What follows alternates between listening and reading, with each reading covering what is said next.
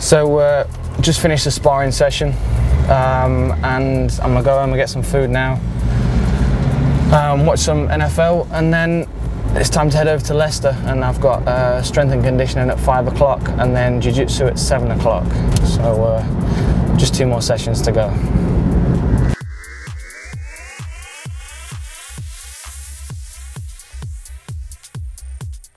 What weight are you at at the moment? Because I mean, when I saw you on the 14th of September, you were around about 200. Yeah, I'm a one. I was 187 this morning, um, which is which is about right for this. Well, it's a little lighter actually than I normally am, but this it's been a, this training camp's been harder than than any other one. So I think that's why the weight's come down so fast. So when it gets to kind of fight week, what would you normally be weighing in at, say, on like uh, the Tuesday, Wednesday before the fight? Well, the, the Monday I wake up is normally the weight I go back in the fight at, and normally I'm about 183. Um, sorry, no. The, yeah, the, the Monday morning I wake up is normally uh, the weight that I am before I go to bed on the Thursday night, um, before the weigh-in. So like, if I wake up on Monday morning at 183, I'm normally I normally know that over the week I'll bring my carbs down and and uh, load wa- water load. So I'm like really hydrated and stuff. And then when it comes to sweating out, a lot of the weight then is just water. My, my body weight kind of maintains. So then when I wake up on the warm morning of the, of the Friday for the weigh-in, I'm, I'm normally about 177, 178. And then, um, and then I just have, you know, like maybe five pounds to cut. And because there's, because there's quite a bit of time between, between finishing weight cutting and getting actually on the scales, I normally cut to like 172 and then just let the rest the rest of the weight come off gradually as I'm waiting waiting to get on the scales. A lot of fighters use IVs and stuff, uh, which is something that we're we're looking into at the moment. So what, what's the purpose of that? Is it just rehydrating? It's just rehydrating, yeah.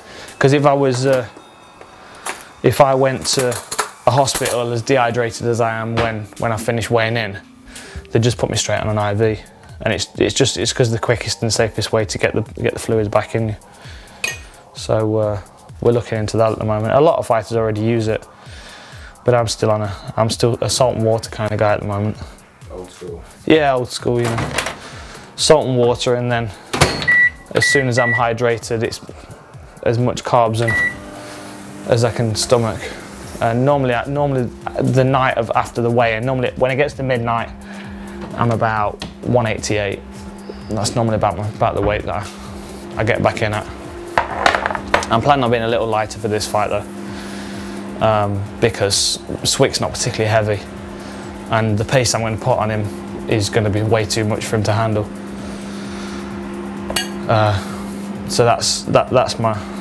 It, it all, again, it all depends on the opponent. If I'm fighting someone who's huge, then I'm going to make sure I'm a little heavier, so I'm a little more difficult to move around. So if you're someone like Anthony Johnson, you, you know, put much of the weight on. Yeah, I'd, i yeah, yeah. That'd be more of a power-based fight because he wants to he wants to get in close and stand and trade, and he's got a lot of power, but technically he's not he's not a, as good a striker as me. So I would have to rely on on being able to land cleaner punches in more su- quicker succession.